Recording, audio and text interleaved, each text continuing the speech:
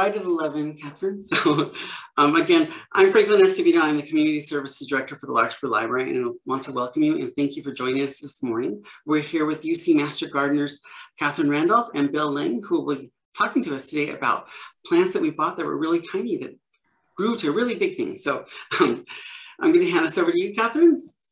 Okay, great. Thanks, Franklin. You're welcome. So welcome everybody. Um, I see a couple of people I know on the list, which is great. Um, let's see, I need to close that because nobody else needs to see that. Okay, so um, during the class today, uh, um, well, first of all, yes, I'm Katherine Randolph. I'm a Master Gardener. I'm the founder of the um, Master Gardeners Pruning Guild. And my partner in crime today is Bill Lang. He's also a Master Gardener and a member of the Pruning Guild. Um, so during class today, we'll be saying trees, but when we say trees, we mean trees, woody shrubs, and woody vines. Um, and we're going to ask for questions after each section. Um, we want you to please confine your questions to general topics about the subject. So uh, at the end of the class, Bill and I will stay on and we can answer specific questions about your garden, but we want to keep it general during as we're going along. Um, Okay. So advice to grow by Master Gardeners is uh, we are trained by a U University of California Cooperative Extension. Uh, we're volunteers who share our knowledge and our skills with the public. Um, and we're a great source for gardening information. We have a great website. We'll touch on that at the end. Um, and it's very useful. Um, and we have, there are two handouts, as Franklin said, that are available and they um, list the UC website as well as a lot of other resources. So um, Bill, you're up. Very good. So here's what we'll be talking about uh, today. We'll cover uh, what purpose that you hope to accomplish with your tree or shrub, um, the critical elements of site evaluation that are necessary to um, uh, have success with your new uh, plant, selecting plants at the nursery, again, a critical component for success, how to plant uh, your new tree and uh, stake it so that through its early uh, growth, it will be a healthy tree and uh, properly irrigating that tree and then a little bit about pruning um, your, your young tree. Um, on the next slide, um, first, I, think that considering the purpose of your tree or shrub is something that um, few of us do enough of. So we're going to encourage you to stop for a moment and think, what is it that you might want? So for example, on the next slide, might it be a privacy uh, hedge in this case from shrubs from these beautiful uh, camellia plants in bloom? Uh, or might it be shade from this wonderful uh, big old tree where you might sit on a hot summer day and have a lemonade?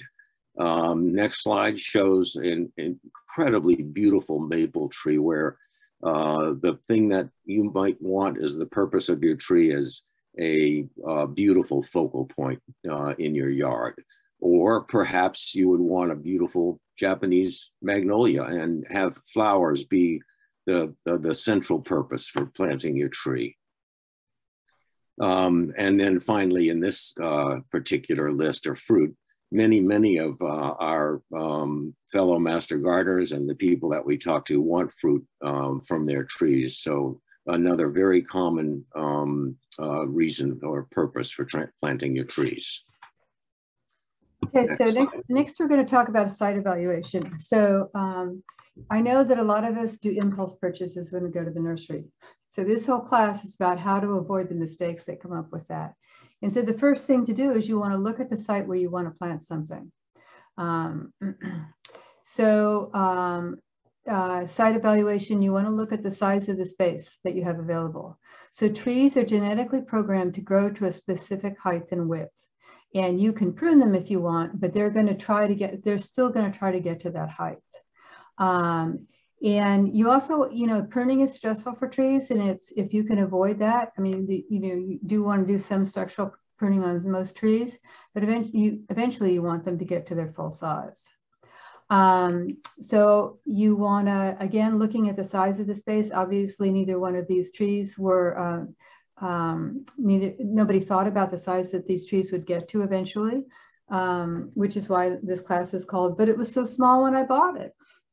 I mean, you can foresee what's going to happen if you're thinking about it before you go there. Um, you don't want to plant it too close to the house. You don't want to plant it in uh, along under the roof um, especially because of our risk of fire. You don't want to plant it so it's going to be right over the roof. Um, you want to look at what your climate zone is. So there's two uh, maps for climate zones. One's the USDA one, and the other one is Sunset. This is a picture of the Sunset one. And again, the links for these sites are available in the resource list. And you can see how um, these um, the zones are attuned to um, whether a site freezes uh, for the most part.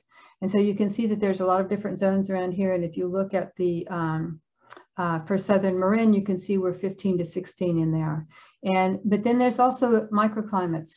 So where I am, um, I am in Strawberry and I face south. And um, so the climate that I have on the uh, sunny side of my house is different than what I have on the north side of my house. Um, you might have areas of your, um, your garden which get more wind. Um, a lot of my clients are down in the valley, so it's more, they're more likely to freeze down there. Um, I have a client in San Rafael. She gets a lot of, uh, she has a lot of uh, fruit trees that most people can't grow because they're planted on the south side of her house facing south. And so there's a lot of reflected heat from the, uh, from the house. Um, so sun, uh, almost always on a tag on a tree, you will see that it's either full sun, part sun, or, or full shade. Full sun means a minimum of six hours.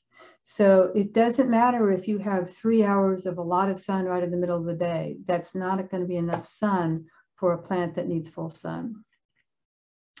Um, and so part shade is going to be the, that realm in there of three to six hours. Full shade is less than three hours a day. So a lot of your full shade plants, some of them can do an east, eastern facing site where they get the morning sun, which is pretty mild, and then it goes uh, gets shady after that. Um, okay, um, so again, looking at climate.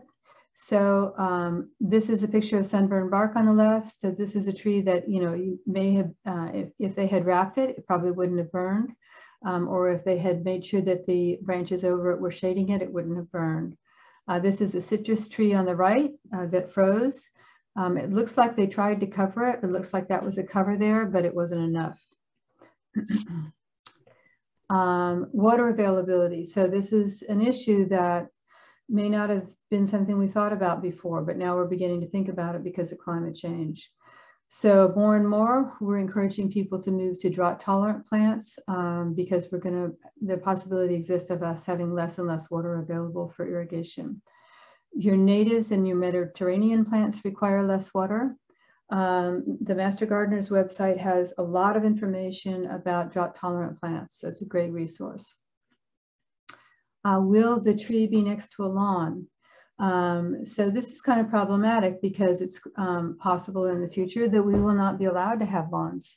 Um, and so you don't want to, uh, a lot of people last year cut off the irrigation to their lawns, not realizing that the tree nearby or the shrubs nearby were depending on that water. So it really stressed them out. So something to think about. Okay, what type of soil do you have? So most of our um, gardens here in Marin are clay soil which is very small particles, um, and their um, clay soils are um, high in mineral content, so that means oftentimes we don't need to feed as much as you would if you were had sandy soil. Um, and they also have a tendency to hold on to moisture more than a sandy soil would. um, just touch bases here. Um, Some of the websites that are listed on the handout um, talk about different kinds of soil and uh, different kinds of requirements, such as that some plants um, are very tolerant to salt uh, in the, you know, like at, at near beach or at Stinson, and some, some are not. So again, soil type, so mostly clays, Um, some plants need acidic soil. So the clay soils are more alkaline. The plants that need acidic soil and fertilizer are rhodies, camellias, azaleas, and your citrus. Um, if you're getting yellowing leaves on those plants or they're not doing well, you want to get some acidic fertilizer. Uh, most of your citrus requires citrus food, which is an acid fertilizer, but it also is high in micronutrients, which the citrus trees need. Um, let's see. Um, so you want to do your research first. So you've decided on a site, you know what the climate is for that site. The, these are websites, again, listed on the handouts, that go into more specifics about what different trees need. And some of them, like Monrovia, you can search for certain sizes. You can search search for, um, you know, the amount of water that something needs. Um, the select tree for, from Cal Poly um, goes into a lot of detail as well, including salt. Um, Devil Mountain is now, uh, they used to be just in East Bay. They now have a North Bay location and they have a website where you can do some searching. You can also call, call your local nurseries. They're a great resource, Sloats, West End, Armstrong, etc. Um, and they can advise you on what plants will do well here. Um, so you want to look at, will, the, will it fit your space? Is it messy? Um, you don't want a fruiting olive tree or a fruiting plum tree uh, along the sidewalk. Um, some trees, like your sycamores, which are planted along the street a lot, uh, lift the sidewalk all the time. Why they still plant them is a mystery to me. Um, is it invasive? You, moderate, you don't want to plant Monterey pines, palm trees, brooms are all examples of um, garden trees that have gotten uh, gone wild. And you want to find out if it's hard to grow. You can have a much more fun garden experience if it's something that's fairly easy to grow. And you'll know that if you see it um, around when you're driving around Marin, if you see the plant in somebody else's garden and it's doing well. Like for instance, hopseed is a plant that is planted often, but you don't really see it very happy. Uh, it's a very difficult plant to grow. um, do you want deciduous or evergreen? You know, if you're going for privacy, then you're going to want evergreen. Is it fast or slow growing? Um, you know, do you care about that? Um, is it going to block the winter light? Um, you know, I like having deciduous trees on the south side of my house because then I get the the uh, winter winter sun. Um, maple trees are one that we oftentimes really emphasize the winter silhouette. Once they drop their leaves, they've got a really beautiful structure um, and colorful foliage, etc. And then you can also look at shade uh, you know, your Italian cypress trees, very vertical, very upright. Um, uh, some things, you know, some sites you're going to want something that's much more broad.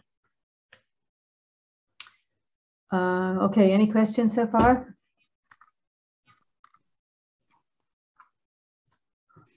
Franklin, I think we have one in the chat. Yeah, there's one. Monrovia is not East Coast based. My friend works here in Southern California. Uh, okay, but however, the website is tilted towards uh, West East Coast plants. Um, so I hear what you're saying, and they do have growing grounds here, but in general, when you look at the website, they're more tilted towards the east. Okay, I think Bill, you're on. Yeah, thank you. So when you go to the nursery, um, don't succumb to that endorphin rush. In other words, don't go to that tree that is this wonderfully appealing tree that just tosses all of your wonderful research out the window. You've hopefully already decided whether you want a deciduous uh, or an evergreen trees and let that be your guide and don't uh, and, and stick to your guns unless you want to go back and reevaluate. Um, read the read the tag. Let's can we go back a, a slide? um, make certain that you read the tag and, and know what the water needs and sun needs and, and the height and width of the tree are. And again, don't succumb to that endorphin rush. Make sure that you uh, go back, read that tag, water needs, sun needs, height, and with and try and be disciplined and, and remember whether or not that suits your site. This is one of the biggest mistakes I think that people need or uh, make rather. Go ahead. Not us though. Bill and I never do that. and when you're there, take a look at how this uh, plant has been handled. Does it look like a telephone pole? In other words, has been has it been planted too deep in its container? Or can you see a little bit of the root flare? You can see um, in the lower left there uh, how pretty uh, that root flare is as opposed to uh, the uh, quote telephone post uh, appearance. So look to see how well that plant has been uh, cared for in its pot. Um, also at the nursery, before I, there's one other point I wanted to make about the the way the trees are in their pots, which is ask the nursery attendant if they actually will uh, turn the plant upside down so that you can see the roots. And that's going to come uh, again. We'll see a little bit better in an upcoming slide. In the next slide, we can talk a little bit about the structure uh, of the tree, and in particular, um, look for branches that are well spread, a good single dominant um, uh, main trunk. And one thing to look at and try to avoid is this uh, uh, co-dominant leaders, where you see there's a very narrow um, uh, angle between these two co-dominant leaders. These are highly likely to split. Uh, they're very subject to, um, uh, in a, a windy situation, for example, or a, highly uh, rainy situation where leaves are loaded. These are, uh, are subject to splitting and breaking. Uh, next slide. In terms of the other structural uh, aspects, you want to avoid a plant that has crossing branches that will rub against and, and uh, create wounds as they grow. But it also creates a very confusing uh, look. And um, most of us will take a look at this and say, what, it's confusing. Uh, uh, it's just not a pleasing look. And um, if a plant looks like this, and, and when you go to the nursery, I think you'll find some plants that are not nearly as mature uh, and in fact are young plants but that they're just plain confused. They've got um, branches going every every which way. Now, there's some plants that are like that, but uh, in general, when you're when you're purchasing a tree, it should not um, uh, have all of this confusion. yeah, as I mentioned earlier, have the, the, the nursery attendant lift the plant, the tree, out of its container. Uh, if you find girdling roots, or a plant that has large uh, roots that have circled themselves within the container, which is natural if they stay in the container for too long, both will result in poor vigor, a tree that's unable to anchor itself, and a, a, tree that simply will not be able to put spread its roots out. These roots are, are, are fixed where they are and will not grow well. So the next slide. here's what you will look for on the right hand, a, a good, nice, evenly balanced, fine uh, uh, roots and a couple of larger roots um, uh, that you can see uh, on the surface. So that's a, a nice, pretty plant uh, from inside the pot. So questions again at uh, this point? So the one in the chat is uh, how about fire safe considerations? Italian cypress is not recommended to plant because it's fire prone. No, I wouldn't plant it. Um, but that was just an example of a, of a vertical, a shape of tree. Yeah, no junipers, no cypress. Yeah, that's a different class. Yeah, so for there's no other questions now. So okay.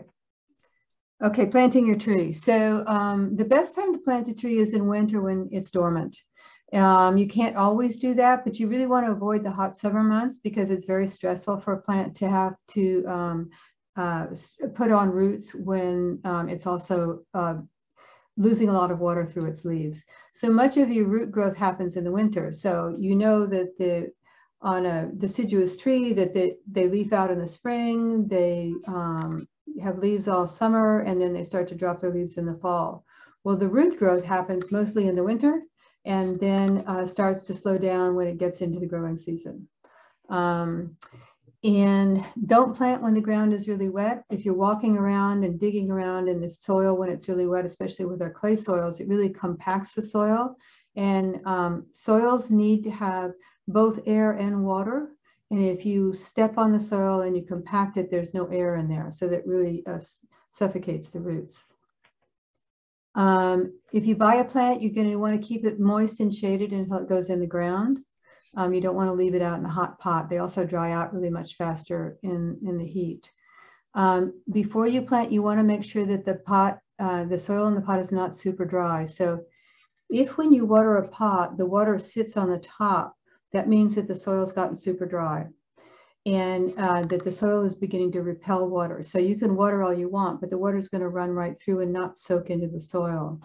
So you can either soak it overnight in a bucket, um, and you'll know that it's super dry because when you put it in the bucket, you'll start getting air holes or air bubbles coming up through the soil. Or you can take um, dish soap and drop, do little drops of dish soap around it and then water it. So dish soap is a surfactant, and so it breaks down that resistance to moisture in the soil, and then it starts absorbing. I would still sit it in a saucer, um, but that happens to me a lot, especially now that my irrigation's turned off. I'm having to rely more on hand watering for my pots. Um, but before you plant, you don't want to put it in the ground super dry because then it's not going to connect with the soil that's around it. It's going to really have a problem. Um, you're wanting to develop a root plate that is very wide. So this is um, uh, an example. Bartlett has a thing called, tree, tree companies have a thing called an air, air spade where they can excavate the roots like this, which is just amazing without damaging them. Um, so you want, you want your root plate to be very wide because it's going to give structural stability to the plant. And um, it's also going to have a larger area of, uh, to draw from in case we have a drought or there's an irrigation failure. Um, some plants end up with just a very small root ball and um, it's very hard to keep that irrigated. Um, so this is available as the handout, uh, so you can um, take this home with you. Um, so the hole should allow the soil level of the finished planting to be three inches above the uh, grade. Okay, and that's to um, make sure that it allows for settling because after you finish planting, it's going to settle. But also when you place your two inches of mulch, it's not going to come up over the crown. So when you're digging your hole, you do not want to dig, dig it deeper than the root ball. A lot of people will dig this big hole, they'll mix all the soil up, they'll plant it, everything's level, and then it sinks because it, the soil compacts. And then the crown gets covered and then the tree rots. Um, you want to dig it three times as wide as the pot and you want to mix the native soil with your planting mix. So you don't want a soil horizon between the native soil and the planting hole because the roots will, they're very happy in this planting mix that you've got and they start going out and they hit that clay wall and they go, eh, and I don't like it so much. So they start circling. So you really have a plant in the ground, but in a pot. It's, pot, it's going to get pot bound over time. So you want to mix the native soil with the planting mix, and then you want to make holes in the edge of the soil. So the roots have ways, holes to get in, start to get in and infiltrate the soil around them. Um, let's see. I think that covers most of that. Um, if, if you have somebody planting trees for you and they plant it too deep, make them dig it up and replant it. Um, really, I, I had a new, a new client over uh, on Sycamore, uh, a 20, 20 foot maple tree in the backyard. They love it. It's been there for years. Um, and uh, it's buried too deep and the crown is rotting and they have to, it's going to die soon. It's just not worth it. And it may take years for it to happen, but why go there? Um, so again, we talked about cutting the roots. Bill talked about cutting the roots. Um, so you want to cut like at least a half inch so that those roots, when they start to grow, they know that they can now move out. They don't need to continue circling. Um, so after you've planted this, the tree, you want to tamp it down a little bit, not too much, and then you want to water it thoroughly. You can put this temporary berm around it as a way to uh, retain the water and keep the water around the roots as you're starting to water it.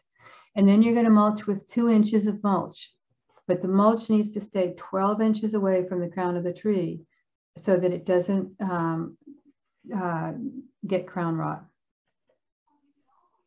Okay, uh, let's see, that's that. So staking, I'll take over from here. Yep.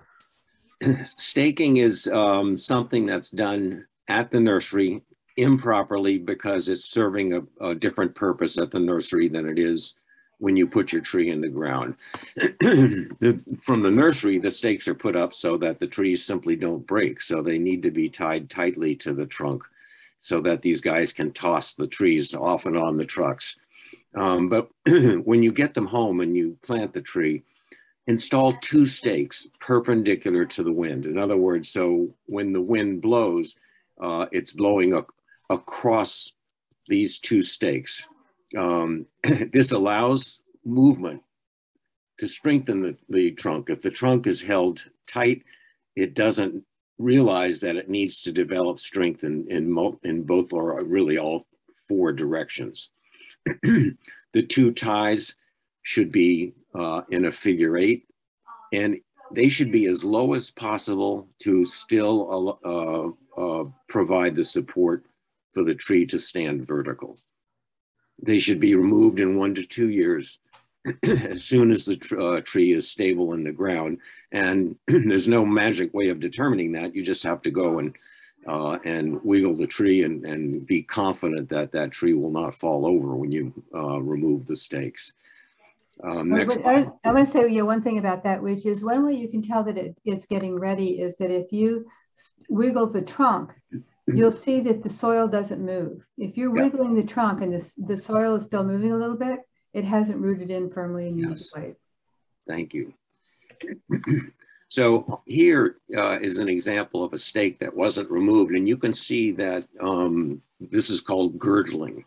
Uh, the, here the, the stake has uh, actually prevented growth and can girdle or uh, remove the ability of nutrients to flow uh, up uh, through the outer sections of the tree. So using broad ties or something like jute string uh, can help uh, with a loosener, uh, a looser way of, of holding the tree. wire or zip ties that are narrow actually promote um, this girdling and can kill the top of the tree above where uh, it was staked. So check your ties uh, at least a couple of times a year to make sure that they're not strangling uh, your tree. now, irrigation. That wonderful photograph that Katherine showed you a moment ago uh, gives you a much better idea uh, of how trees develop their roots in order to maximize the uptake of moisture. Uh, in mature trees, most of the feeder roots are in the top 12 inches of the soil, and most of them are within the area of the crown of the tree, uh, around the uh, around the drip line, and uh, in particular uh, within uh, the, the, about half the distance between the trunk and, and the drip line. On the next slide.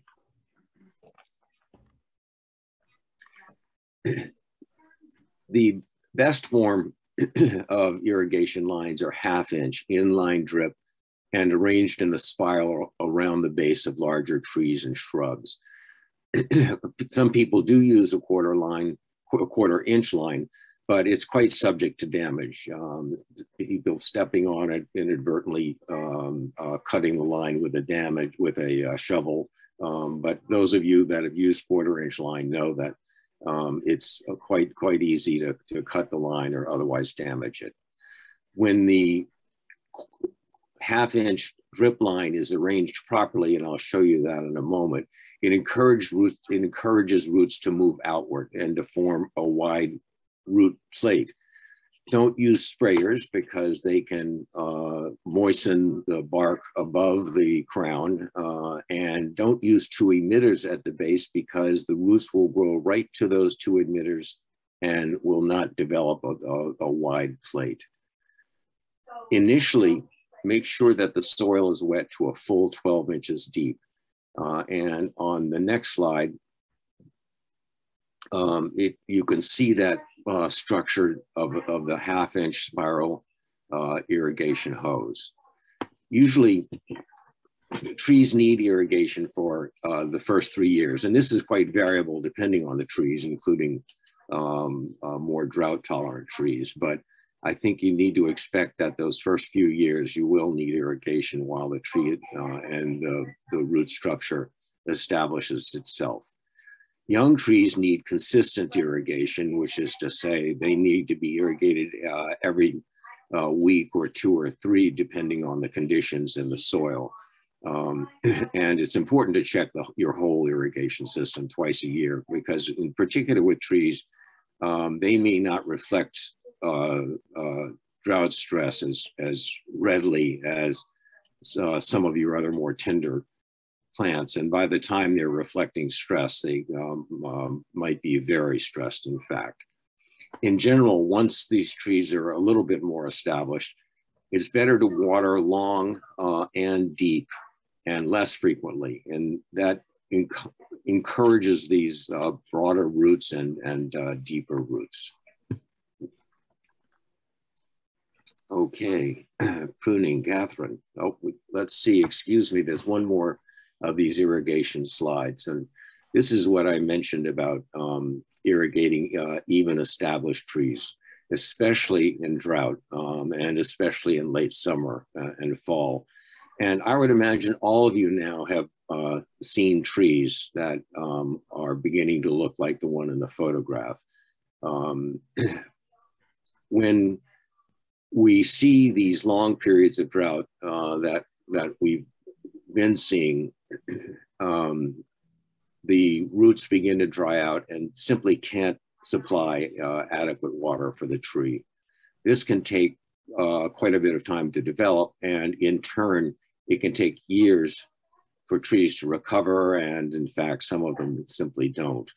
When the rains do start, it's important to remember that it takes multiple rains over a period of weeks um, before uh, much of that water soaks through and gets down to any uh, meaningful depth. And uh, I'm sure that many of you who put a, uh, a shovel in the ground uh, after a good long rain have been delighted to find that first inch or two nice and, and, and damp and then get down to six or so inches and to find it absolutely bone dry.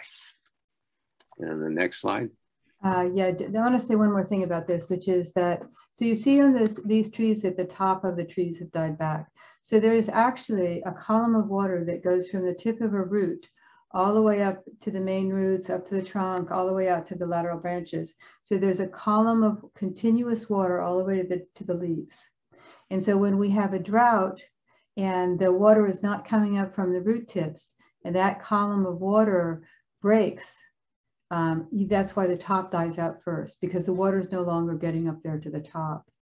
Um, and I participated in a conversation, um, this must have been about six months ago, um, Bay Area Tree Mortality Task Force.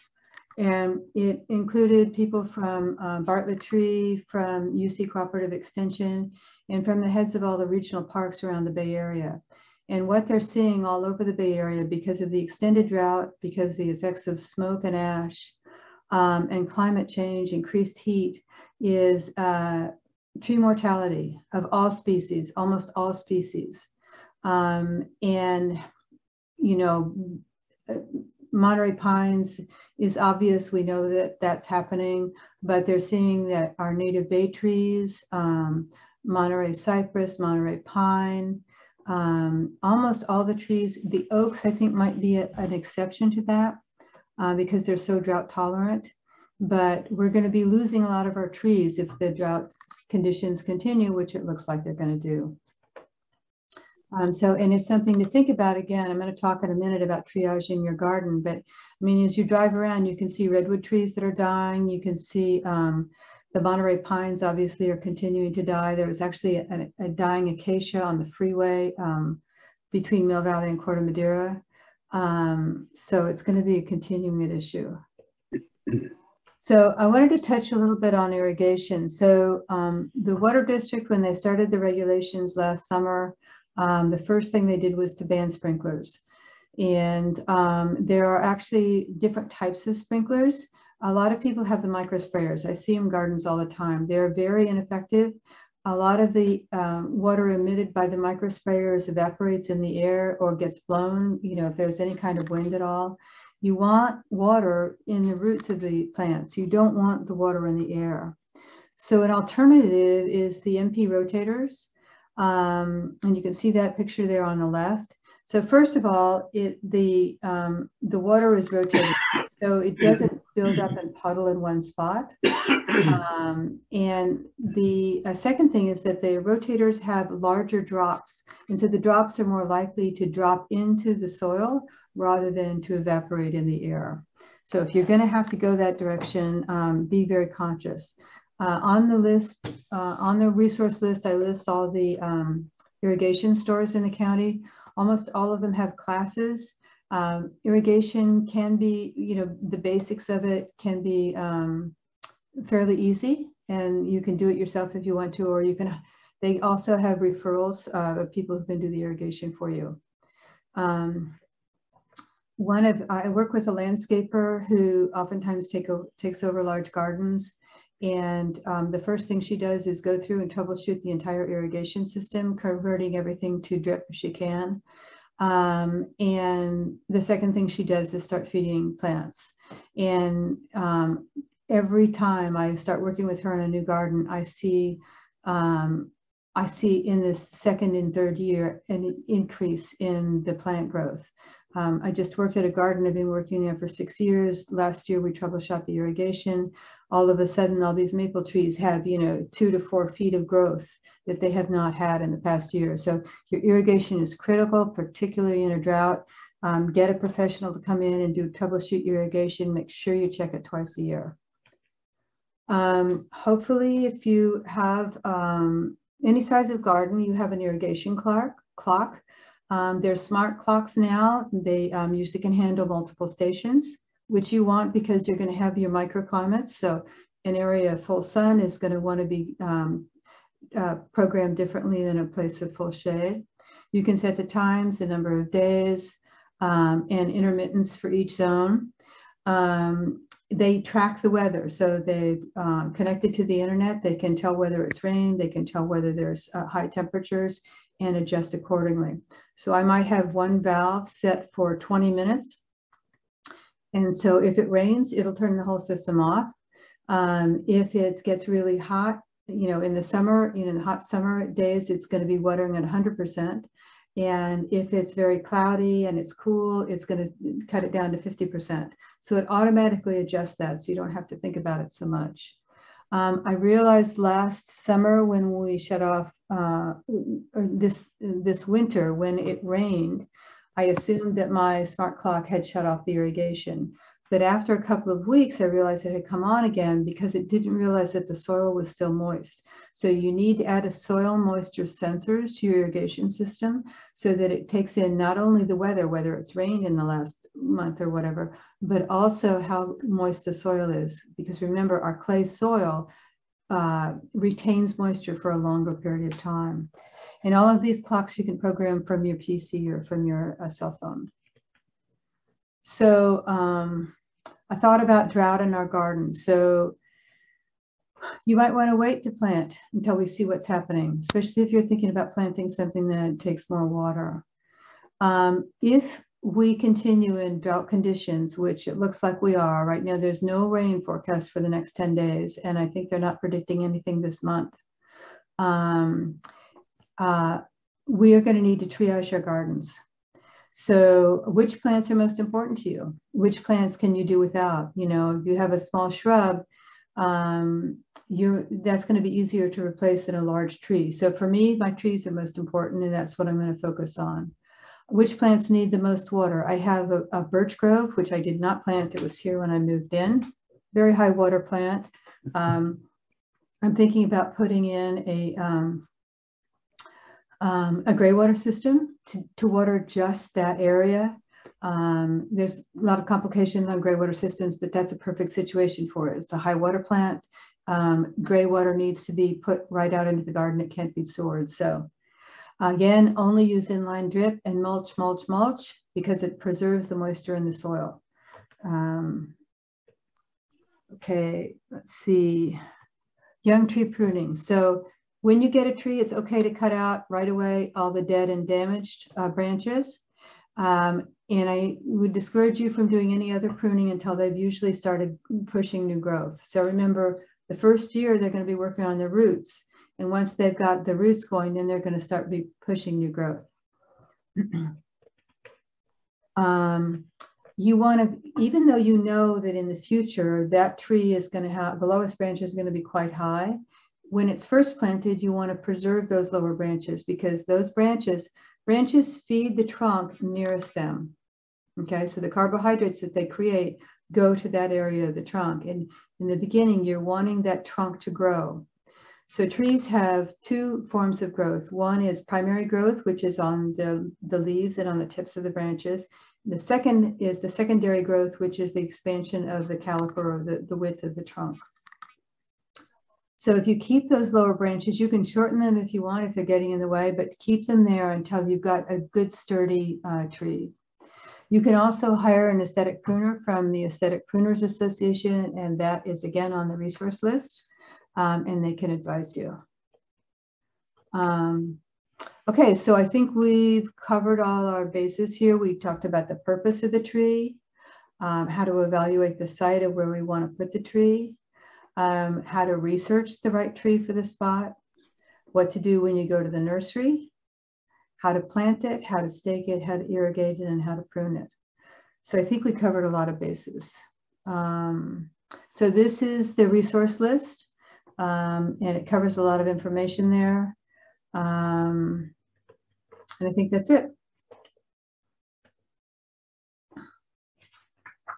So if you do have questions, you can either use the Q&A or put it in the chat box. So.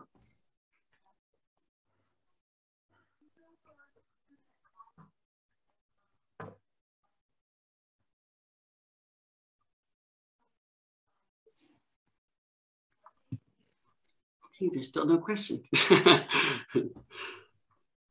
Oh, here comes one.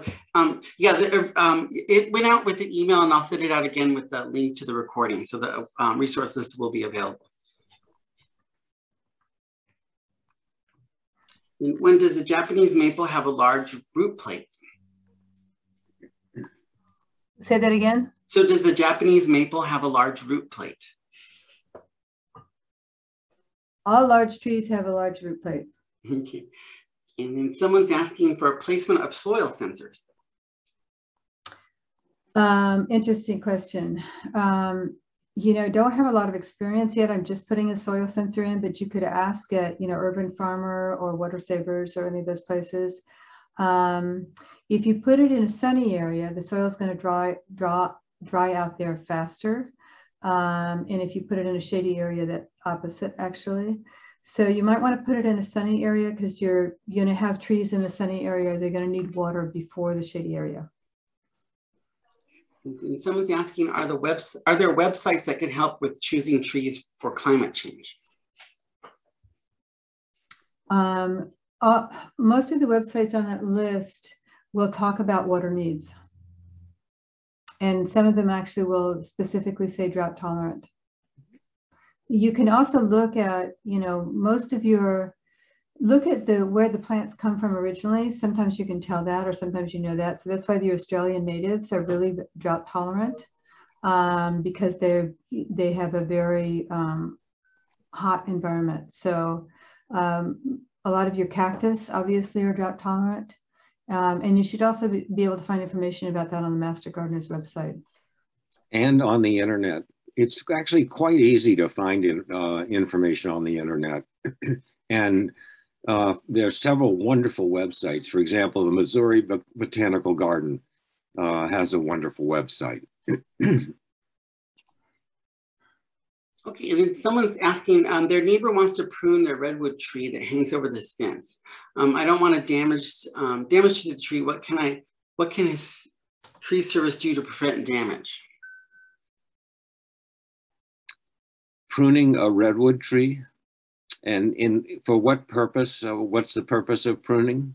Well, no, it sounds like it's part of it's hanging over the, the fence. So they want to um, prune it, but he's trying to prevent damage to the tree. So how do you prevent damage to the redwood tree? uh, a good, well qualified arborist uh, should be more than capable of, of pruning appropriately, uh, causing minimum damage to the tree.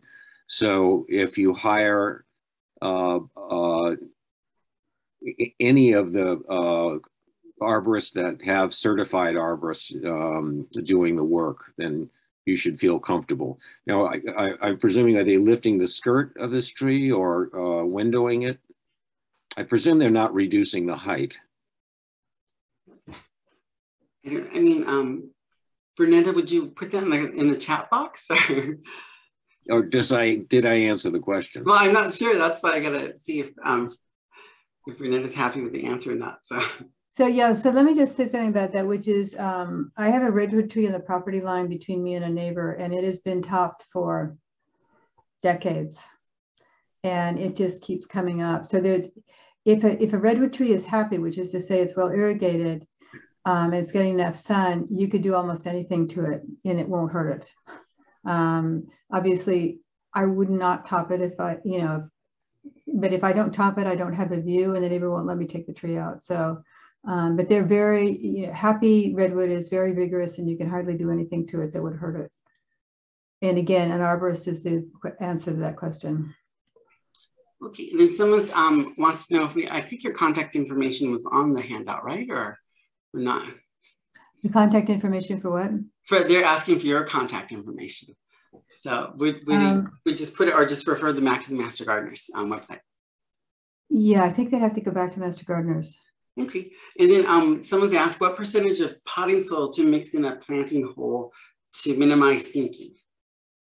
Okay, so there's a difference between potting soil and planting mix. Mm -hmm. So planting mix is what you're gonna use to plant in the ground and the potting soil is obviously for potting. Um, I would do half and half. Half native soil, half planting mix. And mixed up. Yes. Yeah, um, mix them together.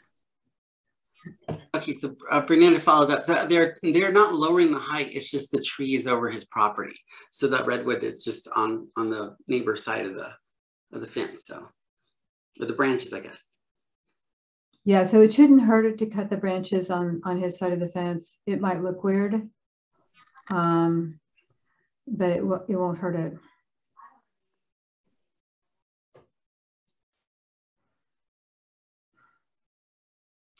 Okay, so is there any more questions or?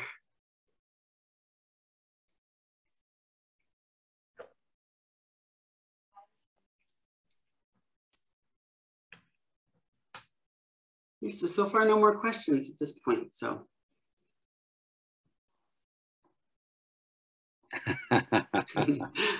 yeah, thank you, everybody. yeah, thanks for coming. Take care. Thanks, Katherine. Pray Thanks, for rain. yeah, pray for rain, everybody. So, oh, so someone's asking what's the difference between potting and planting, I guess, soil? Um, that's a good question. I imagine that plant potting soil probably has more um, uh, things like vermiculite in it um, that would keep it aerated and probably less organic material, but that's a wild guess. You'd have to ask at the nursery. It may not co actually compact as much as you would wish.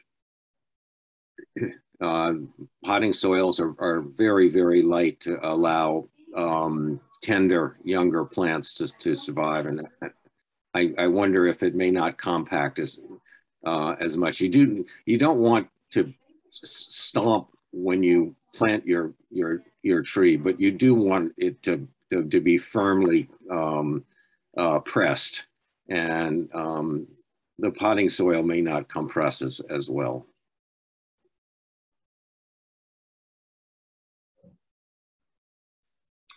Okay, seems like it. So thank you guys. Thank, um, thank you, Katherine and Bill, for joining us today. Thanks to the Master Gardeners again for, and then everybody join us next week. We have a, a talk on planting and raising blueberries and strawberries with Judy Arsini, uh, another Master Gardener. So thank you all for attending and then just be on the lookout for the links to the recording. So have a great day, everybody. Thank you, Thank you. Franklin. Everybody.